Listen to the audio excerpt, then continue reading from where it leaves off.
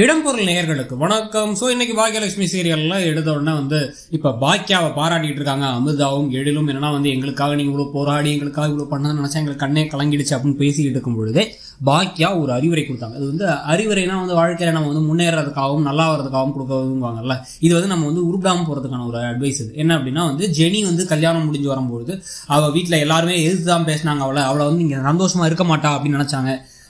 ஆனா அவ எல்லாத்துக்கிட்டையும் பணிஞ்சு போய் அன்பா இருந்து அன்பால கட்டி போட்டு எல்லாத்தோட செல்லமானா அந்த மாதிரி தான் நீயும் இருக்கணும். அப்படின்னு உடனே இவங்களே எனக்கு புரியுது.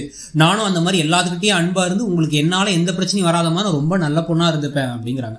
அதாவது எப்படின்னா வந்து செடியன் என்ன வேணாலும் பேசலாம் செடியனுக்குலாம் வந்து அவர் வந்து லவ் பண்ணி அவர் ஒரு வே வேற மதம் நிறைய பிரச்சனை போலீஸ் ஸ்டேஷன் எல்லாம் போய் ஆனால் அவருக்கு பிடிச்ச பொண்ணை கல்யாணம் பண்ணிட்டு வந்தார். ஆனால் அவர் எழிலோட லவ்வை பற்றி தப்பாக பேசலாம். அதை பாக்கியாவும் எதிர்த்து பேசலை. அமிர்தாவும் பேசக்கூடாது எழிலும் பேசக்கூடாது.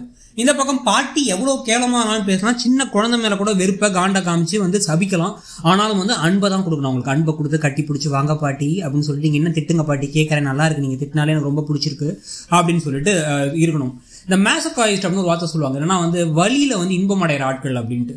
அடுத்த வழியில இல்லை. நம்ம வழியில இன்பம் அடைகிற ஆட்கள். அந்த மாதிரி தான் சீரியல் ஹீரோயின் சீரியலில் நல்லவங்களா இருக்காங்க. ஏன்னா நீங்கள் என்ன வழி வேணாலும் எனக்கு கொடுங்க. அந்த வழி தான் எங்களுக்கு சந்தோஷத்தை கொடுக்கும். நாங்கள் அப்படியே உங்கள்கிட்ட நல்லவங்களா இருப்போம் அப்படின்ட்டு. ஏன்? அப்படின்னு எனக்கு ஒன்றும் புரியவே இல்லை.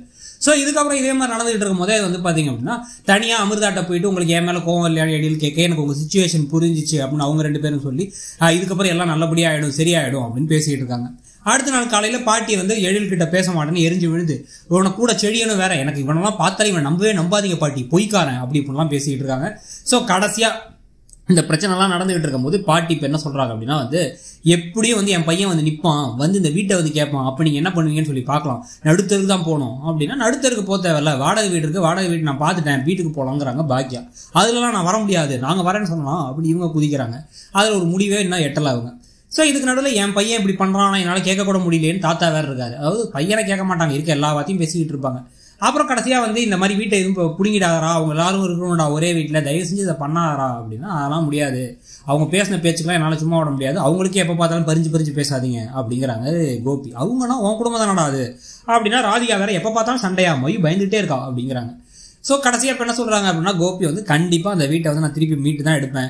இனியா வந்து கிளம்பி வேற நம்ம அங்கே போயிடலாமான்னு கேட்டதுக்கு அதெல்லாம் நீ போக வேணாம். நம்ம எல்லாருமே அங்கே போனால் கூட ஓகே அது நம்ம வீடு அது.